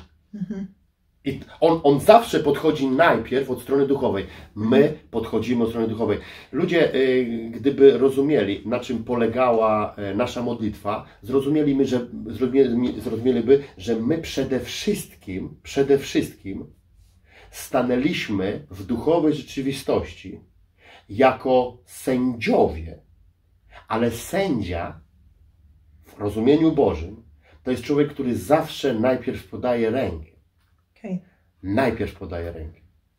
I my modliliśmy się, aby nawet teraz, w tym czasie, taka postać jak Putin przyjął Jezusa jako Zbawiciela, żeby odstąpił. Ale my proklamowaliśmy, że jeżeli on tego nie zrobi, bo może nie zrobić, Tak. ha, bo gdybyśmy mieli władzę taką, żeby mu kazać, no problemos, ale my nie mamy, Bóg nie ma. Tak. Więc powiedzieliśmy, jeśli nie zrobi, to zginie. I my to proklamujemy nad nim. Albo się nawrócisz, albo zginiesz. Przecież dokładnie to samo głosimy na ulicach. Mówimy do ludzi, albo się nawrócicie, albo wszyscy poginiecie. Tak. I teraz, I teraz jest problem jedynie, że no tak, ale to wy pociągnęliście za spust. Tak, w pewnych sytuacjach pociąga się za spust. W pewnych sytuacjach się bije mieczem, w innych się chodzi bez miecza. Trzeba Boga słuchać. Boga, a nie robić z Boga pacyfistę. No okej. I mamy tutaj w objawieniu Jana na samym końcu obraz Jezusa, jaki on wraca. To nie wraca Jezus z Nazaretu. Nie. To nie, on wraca. już nie jest z Nazaretu. Nie. Tak, to nie wraca hippie z, z, z takim, wiesz, wzrokiem. e, Powłóczystym. Włóczystym, tak, i w sandałach z długimi lokami. Tak. To wraca. E, tu jest napisane, że a przyodziany był w szatę zmoczoną we krwi. Imię jego zaś brzmi Słowo Boże. I szły za nim wojska nieb- niebiańskie na białych koniach, przyobleczone w czysty biały bisior. A z ust jego wychodzi ostry miecz, którym miał pobić narody i będzie nimi rządził laską żelazną. No tak, właśnie. I To, to, jest- to jest przedziwne. Ale i to strasznie brzmi. I to strasznie brzmi. Jak ktoś mi zapyta, Strasznie brzmi. jak to brzmi? Strasznie. Strasznie, przecież, No przecież strasznie brzmi. ja, ja, Tam nie będzie już w ogóle pytania. Daj mi się teraz, nie wiem, Nawrócić. wypowiedzieć, nawrócić. No nie. I teraz jest to trudne. Jest to trudne. Tak samo jak trudną jest rzeczą, jak, jak ludzie myślą, a jak mają ci w piekle? No cholernie źle. No, no. no. I teraz, Artur, a czy tobie jest szkoda tych ludzi w piekle? Powiem tak, jak byłem zaburzony, to mi było szkoda. Bo ja się identyfikowałem swoim zaburzeniem z nimi, prawda? I, i, i balansowałem na granicy humanizmu, prawda? Natomiast nie, nie, właśnie nie szkoda mi. Tak. Właśnie nie szkoda mi. W ogóle szkoda mi, szkoda mi ludzi, dlatego idę i, i głoszę do nich Chrystusa. Szkoda mi tych ludzi. Tak. Ale w ogóle, jeżeli ludzie nie chcą Chrystusa, nie chcą tego, nie chcą Jego prawd, w ogóle nie, nie szkoda mi. I ja, i wiecie co to znaczy? To jest uświęcenie. To, co ja teraz w ogóle prezentuję, to jest uświęcenie, zmiana mojego myślenia Tak. na poziom myślenia Boży. Ja nie mogę mieć w sobie w głowie mentalności, że mi jest szkoda. Nie, no nie szkoda. No nie, po prostu nie jest mi szkoda. Jakby nie jestem pacyfistą. Nie jestem pacyfistą. Nie jestem człowiekiem, ja nie jestem awanturnikiem. Ja w ogóle lubię pomilczeć jak nikt. Ja uwielbiam komorę modlitewną. Ja uwielbiam ptaszka. Tu przychodzi, śpiewa ptaszek, jeden, drugi. Ja się modlę, on śpiewa. W ogóle jest pięknie. Tak? Na- Natomiast to nie oznacza, że ja nie będę bronił na przykład mojej rodziny, kiedy ktoś tam przyjdzie do domu. Tak. Ja będę tutaj głosił Ewangelię, tutaj kogoś mogę wskrzesić z martwych, a za chwileczkę, jak ktoś by przyszedł do mnie do domu i chciał w ogóle zniszczyć mój dom, prawda, to ja go zniszczę. Się pytam, dlaczego ja miałbym poświęcić moją żonę i dziecko, yy, dlatego, że w ogóle mi szkoda tego człowieka. Nie! Jest napisane, nie będziesz kradł, mordował, po coś tu przyszedł. Po coś tu przyszedł. Prawda? Przyszedłeś tu, żeby kraść i mordować. Prawda? No w Stanach to chyba przeciętny jakiś baptysta ma spluwę, wiesz, pod poduszką jakby w razie co. No ale właśnie wczoraj sobie taki fajny oglądałem film, yy, tam niesamowity dom pani Peregrine, yy, przedstęp sobie oglądałem i tam taki fajny motyw, że w ogóle dwoje ludzi, którzy w supermarkecie pracują, to Tak. zwykła, babeczka supermarketu i jakiś tam chłopak, mm, jadą sobie samochodem, on wychodzi, tam patrzy, że do dziadka ktoś się włamał, ona mówi, Tak. poczekaj, idę po broń. Zwykła kasjerka supermarketu, ona ma spluwę w swoim samochodzie. Bo to jest normalne. Tak. Dlaczego? Bo mamy prawo do samoobrony. Jezus piętnował atak. On piętnował ataki.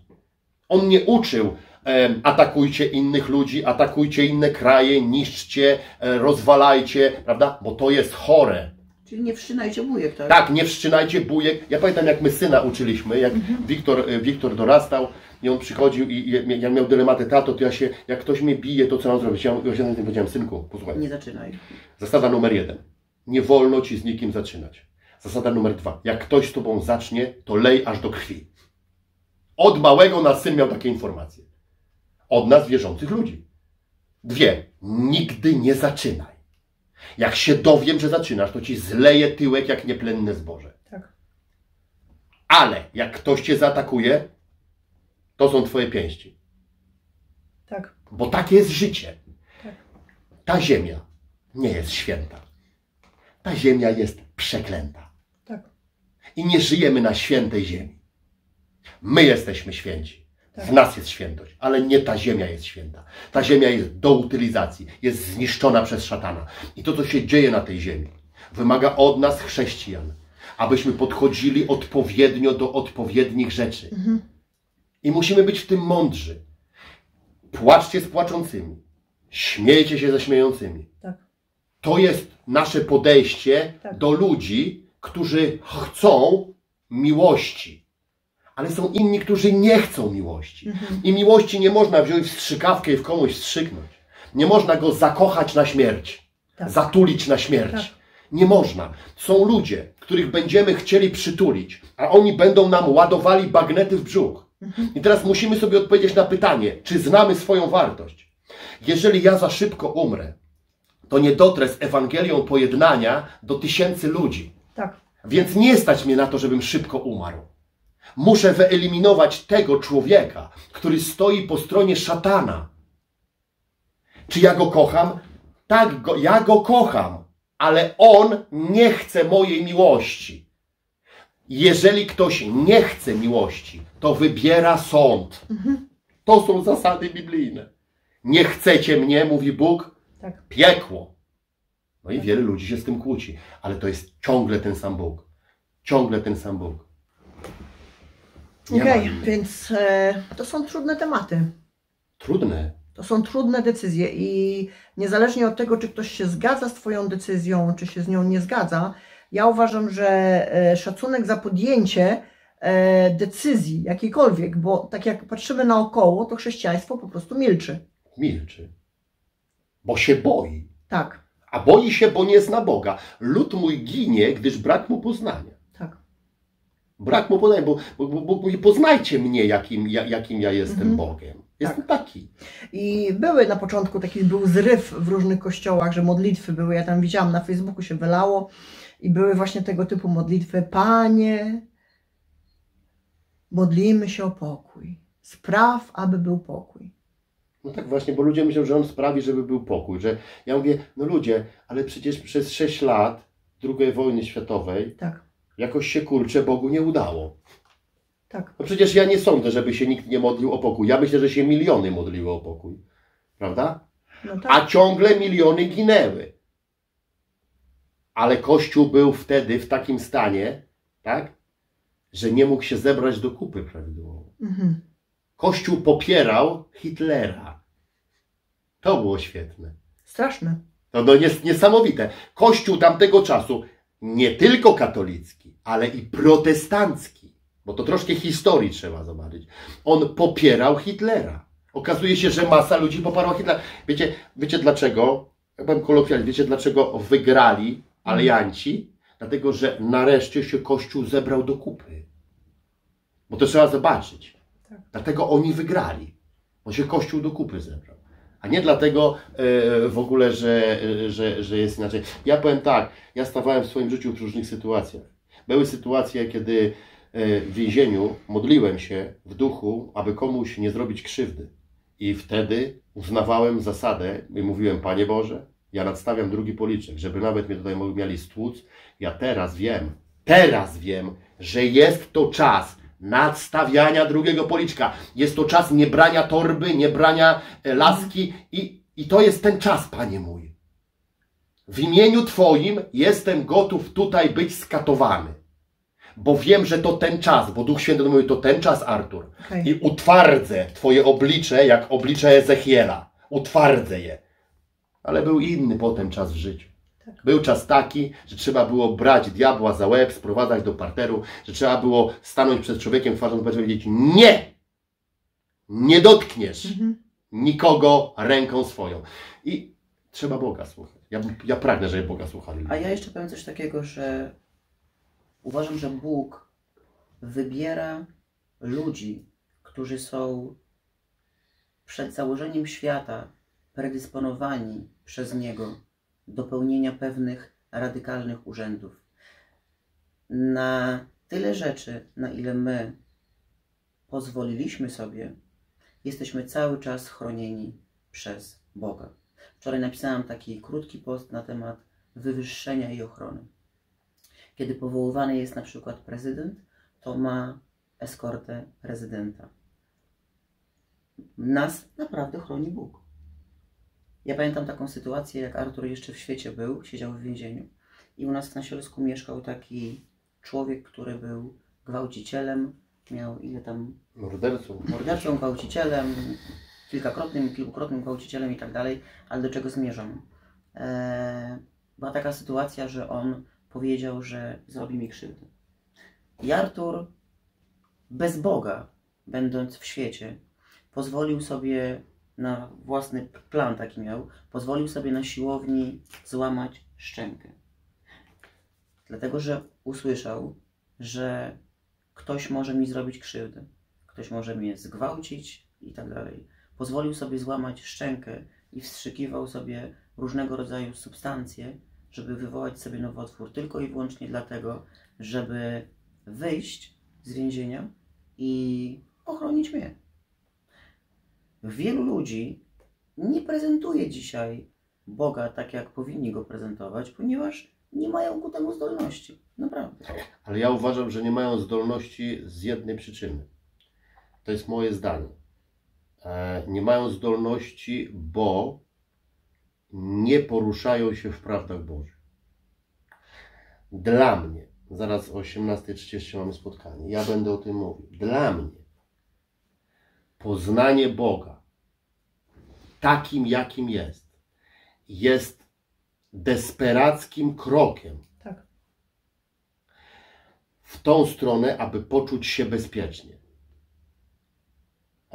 To jest bardzo ważne. Ja się czuję bezpiecznie, bo ja znam Boga. I dlatego, że Go znam, poruszam się w zasadach, które powodują, że ja jestem chroniony. Ja nie uważam, że ja jestem chroniony dlatego, bo jestem szczególny.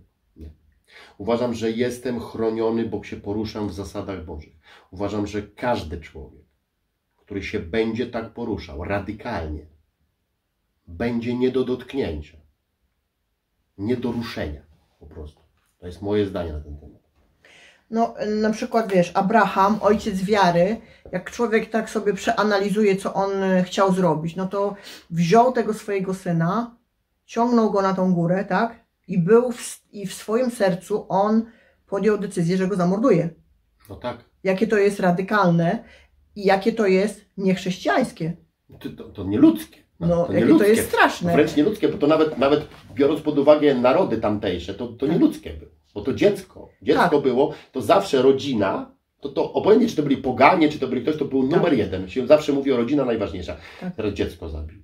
No. no nieludzkie. Ja jak czasami o tym myślę, że to była taka... rad- I on jest dzisiaj nazwany ojcem wiary. A co ciekawe, bo, a, ale od razu wracam w ogóle do mentalności chrześcijan, Tak. którzy wytłumaczyli Abrahama, bo tam było, ja usłyszałem wytłumaczenie Abrahama i ja, ja, wiecie, kiedy ja podniosłem kiedyś ten temat, to, to ktoś mi powiedział, no wiesz, ale Abraham wiedział, że Bóg go wskrzesi. To jest mistrzostwo świata. To jest tak samo, jak tłumaczyli Jezusa, że Jezus wiedział, że wyjdzie, że wstanie z martwych. To bzdury. No nie wiedział. No nie wiedział. Chodził po ziemi, tak I, jak i, Abra-. I Abraham wierzył, ale nie miał w ogóle w środku, co on miał? Jeden wielki płacz. No idę syna zabić, błagam. No i teraz kto mi każe? Bóg mi każe. Bóg mi każe. Bóg mi każe. I on w swoim sercu, tak jak Jezus y, wszystko do pułapu serca y, przyniósł, Tak, grzech, tak. to Abraham w swoim sercu y, był w stanie zaakceptować to, że zabije swoje dziecko. Tak, i on, on, to, on to zaakceptował, Tak, i on, bo on uznał, że tok myślowy Boga jest większy niż jego. Ja sobie Tak. tylko mogę wyobrazić tego człowieka, który mówi, okej, Panie Boże, nie rozumiem, dlaczego ja mam tego syna zabić, jest to dla mnie ciężkie, to w Tak. ogóle jest syn, który mi się urodził, ja tyle lat w ogóle Tak. tutaj i tak dalej, Yy, ale wierzę Ci, Panie, tak, że Ty widzisz więcej i rozumiesz lepiej. tak. I dla mnie to, co ja przed chwilą powiedziałem, to jest motto życiowe. Boże mój, Ty widzisz więcej niż Tak. ja i rozumiesz lepiej niż Tak. ja. Ja jakoś rozumiem i myślę. Widzę też. Tak. Ale Ty lepiej. Lepiej. Ja 21 lat to mówię. Lepiej widzisz ode mnie. Lepiej słyszysz. Lepiej rozumiesz. Bo Ty Bóg. bo Ty Bóg. Po prostu. W ogóle. I teraz. I, i, I to, jak takiego Boga widzę, to teraz dla mnie nie ma znaczenia, jakie on robi ruchy. Zobaczcie, e, jak się komuś ufa. Ufa się komuś. I ten ktoś coś robi. To teraz możesz nie rozumieć tego, że ten ktoś coś robi, tego, tego co on robi. Możesz nie rozumieć, a dlaczego ty to robisz? A czemu? Ja często do kogoś mówię, ale ty ufasz mi? Ufam. W ogóle to mnie nie pytaj. W ogóle pozwól sobie na to, żeby zaufanie pracowało. Musisz pojąć, że ja dalej widzę i ja lepiej rozumiem. Bo ja tą mentalność przyjąłem w stosunku do Boga. Jak ja się dowiaduję, okej, yy, on robił to czy tamto, prawda, ginęły narody, Mhm. To znaczy, jak ja, jak ja widzę, że on wysyła anioła jakiegoś śmierci i tam ci Egipcjanie są wycięci, dzieci są wybijane w Egipcie, No tak. prawda? Ja mówię, okej, Panie Boże, dla Ciebie ta śmierć to nie jest taka poważna sprawa. I teraz, jak to? No, no jak to niepoważne? No, nie, no niezbyt poważna, Panie Boże. No nie jest to takie poważne. Widocznie ta śmierć, to Ty to w ogóle świetnie masz poukładane w środku u siebie. Ale trzech dzieci trzeba wybić, tym dzieciom będzie lepiej, te dzieci wszystkie do nieba pójdą, w ogóle nie ma problemu. Prawda? W ogóle, wow. No, Biblia mówi, że śmierć jest zyskiem. No, no tak, A my, my uważamy, że śmierć to jest w ogóle jakaś katastrofa. Ale dlatego się podnosiły tematy tutaj na przykład, bo Lęki. Bóg nie jest, y, jak, y, Bóg nie ma upodobania śmierci grzesznika. Pi- Pisze do mnie człowiek, ja do niego mówię, ty, ale w śmierci wiecznej. Tak, Chodzi o to, że On posłał Syna, żeby ludzie na wieczność nie musieli zginąć. tak, Nie musieli być zutylizowani. tak. Prawda? Przestać istnieć. W tym nie ma upodobania. On się w ogóle nie odnosi do śmierci fizycznej. Tak, W ogóle nie ma tam takiego odniesienia. To w ogóle mm, już sam fakt obrzezania, Bóg stworzył całe ciało człowieka, to są tysiące takich w ogóle przykładów. Bóg stwarza całe ciało człowieka i raptem tam przychodzi do, do tych Żydów i mówi, to obetnijcie ten kawałek, niepotrzebny. Jak to? To po coś go stworzył. A Bóg mówi, to nie jest problem, to łudnij. Jezus mówi, rękę sobie łudnij. Masz problem z, mam problem z ręką, rękę łudnij, oko wyjmij. Ja mówię, co to, co to w ogóle za teksty są?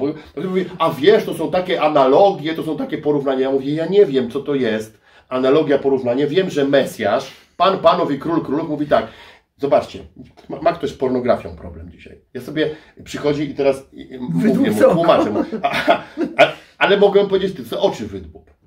To lepiej dla Ciebie, żeby te oczy wydłubał. Na przykład, nie, nie wiem, czy, czy, czy z czymś innym. Masz, masz z tym problem, że wydłub oczy. Tak? Wiesz o co chodzi, nie? Kurczę. Kradniesz rękę łutni. Tak. Tak? Co to jest? Bo to filozoficznie trzeba zobaczyć. Nie ma u Boga kultu ciała. Ciało to urządzenie. Urządzenie. Chodzi sobie takie urządzenie po ziemi, jak to urządzenie nie oddało życia Bogu. Chodzi se taki Putin po ziemi, wziął, morduje, niszczy i tak dalej. Co robimy? Ścinamy głowę. Prawda? Dlaczego? Bo to przeszkadza. Chwast. To człowiek. Nie.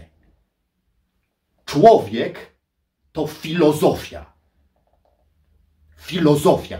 Filozoficzny człowiek to jest człowiek godny, sprawiedliwy, czysty. Człowiek, tam jest, to jest ten piękny motyw, kiedy na, o Jezusie mówią, oto człowiek. To jest filozofia pokazana. O, czyli tak, taki powinien być człowiek. Jak ktoś jest inny niż on, to nie człowiek jest. Jak ktoś, jak ktoś nie jest jak Jezus, to nie jest człowiekiem. To zwierzę. Stadne zwierzę. To w ogóle trudne. Ale pokazuje się Jezus, mówi, oto człowiek.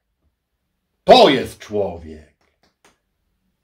A ktoś, kto nie jest taki albo nie chce być taki, nie zasługuje na rangę człowieka.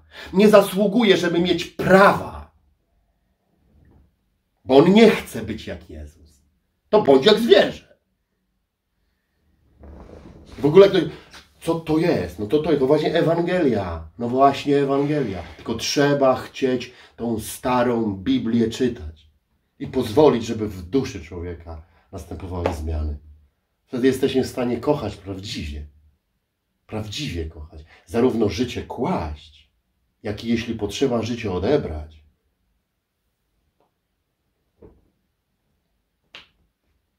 Mocne tematy. Mocne, no. Już tak na sam koniec. Dlaczego uważacie, że dzisiejsze chrześcijaństwo jest właśnie takie hillsongowe, rurki, światła, miłość?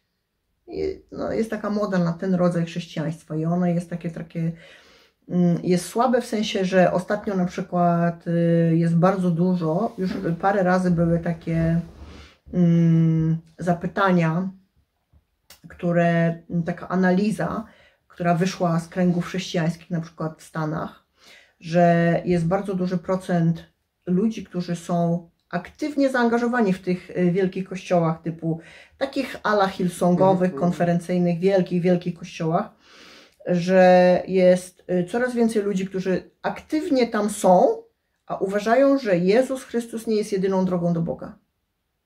Powiedz coś o tym. Nie chcę, już chyba już tak dużo powiedziałam w tym temacie. Ja uważam, że y, jest tak dlatego, ponieważ ludzie y, mają powiem, banalną rzecz. Jest coraz lepiej ludzkości. Okay. Wbrew wszystkiemu, ludzkości jest coraz lepiej dzisiaj. Tak. I czy czy ja y, to torpeduję, że jest coraz lepiej? Nie. Nie. Ja w ogóle uważam, że człowiekowi ma być dobrze.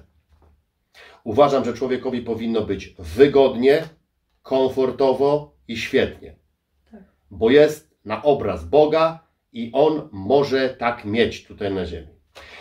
Ale zważywszy, że ludzie, oni e, w ogóle nie biorą pod uwagę tego, co ja przed tak. chwileczką powiedziałem, tylko uważają, że po prostu jest im lepiej, to z automatu pozbywają się szeregu różnych instynktów.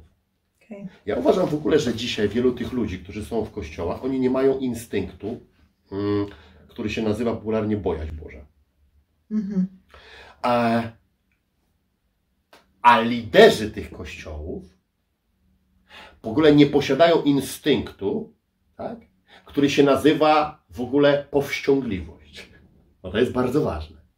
Nie ma takiego instynktu. Powoduje to, że otwierają swoje ręce i mówią: chodźcie i pozostańcie przy swoim przekonaniu.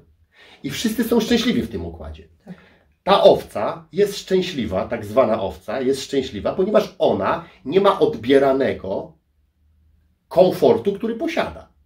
Pasterz też jest szczęśliwy, bo ma owcę, może ją doić, może ją strzyc, prawda? Tak. Jest wzajemne zaspokojenie, Tak. a jest to spowodowane spadkiem instynktu człowieka. Absolutnie. Ludzie kiedyś, yy, Agata troszkę o tym powiedziała na nabożeństwie w niedzielę, em, że mm, ludzie mieli inne zasady wewnętrzne. Również to się odnosi do chrześcijaństwa. E, Ludzie wcześniej, powiedzmy, kiedy sięgniemy, nawet niech będzie 100 lat do tyłu, kiedy Tak. było przebudzenie na przykład zielonoświątkowe, prawda? Przebudzenie zielonoświątkowe rozpoczęło się od tego, że y, ono y, jakby od, ludzie się otworzyli na działanie Ducha Świętego i z automatu od, od- otworzyli się na działanie świętości. Tak. Stąd też zwane ono było w różnych kręgach y, przebudzeniem uświęceniowym. Okej. Prawda? Że tam głosiło się moc Boga, z automatu głosiło się świętość Boga, ale dlaczego się to głosiło? Bo się to przeżywało. Tak. Ludzie chcieli być zgodni z prawdą, ale to oni chcieli. Tak. Prawda? Dzisiaj e, system świata poszedł w tą stronę, że jest absolutna i potężna wygoda życiowa Tak. u ludzi. Ludzie mogą wybierać nie już z setek rzeczy, ale z milionów rzeczy. Tak. Mają, mo, mo, I w tym wszystkim, prawda, znajduje się Kościół. Dlatego Kościół jest dzisiaj pełen y, ludzi z brakiem instynktu, zarówno wśród przywództwa, jak wśród owiec. Ludzie robią sobie dobrze w Kościele. I szukają Liderzy tego. siedzą w mentalności tego świata Tak. i głoszą to, co przeżywają. Dokładnie, bo, Tak. dokładnie, bo, bo i, i są szczęśliwi, i to jest ich rozumienie szczęścia. I też pod to podciągają Ewangelię później, bo taki jest Bóg Tak. właśnie. To jest taka pewna mm, forma też rozrywki, bo to naprawdę wiesz, y, jest takie. mm, Na przykład te, ja nie mówię, że te uwielbienia są jakieś złe, ale one są fantastycznie wciągające No również. tak, oczywiście. I dodajmy do tego na przykład właśnie jeszcze obecność Ducha Świętego. Natomiast i to jest tak przyjemne, że naprawdę człowiek może w tym lata spędzić, i, ale nie mieć żadnej przemiany wewnętrznej. Tak, bo to, bo, to, bo to nikt nie mówi, że tam się nie manifestuje Duch Święty. Tak. Bo to dla Ducha Świętego to wystarczy, że jeden szczery jest gdzieś w ogóle Tak. i to i żaden problem jest, jest Duch Święty. Tak. A ten urzędnik Boży, o którym wspomniałam, który wpływał na moje życie, który dzisiaj jest humanistą, ze sceny krzyczał zboczeńcy religijni. Tak. Po co tutaj przychodzicie? tak ja byłam tak. młodym wierzącym w ogóle, ale ja, ja bardzo chciałam tego słuchać. Ja wie, ale gość, ale, ale gość. Tego się nie słyszało w kościołach. w Zajmuje tamtym w ogóle w takie Polsce, stanowisko. On do nich mówi: Mówię tak do was, bo znam wasze życie. Groby pobielane. Jesteście zboczeńcami religijnymi. Tak. Idźcie wręcz na dyskotekę. Bo tam jest wasze miejsce. Po co tutaj Tak. przychodzicie? Potańczyć. Tu nie jest fajnie. W kościele nie jest fajnie. A dzisiaj chrześcijańscy liderzy Tak. to, co przeżywają, to głoszą i dbają o to, aby w kościele było jak miło i przyjemnie. tak, żeby nikogo nie zgorszyć, żeby być w ogóle Tak. fajnym, miłym, Tak. I nazywają to Ewangelią pokoju. Mhm. Zapominając, że Ewangelia pokoju odnosi się do pokoju z Bogiem, a nie do pokoju tutaj na ziemi. A więc dzisiejsi apostołowie, którzy chodzą po tej ziemi, kim będą? W świecie tego wszystkiego, w świetle tego wszystkiego, co się dzieje. Antychrystami. No, antychrystami. Ale Bóg wszystko osądzi. W ogóle Amen. historia to wszystko osądzi. Amen. Każdy niech robi to, co robi. Super, dobrze. To dziękuję Wam bardzo, kochani. Dziękuję Ci również, Basiu. Dzięki Basiu.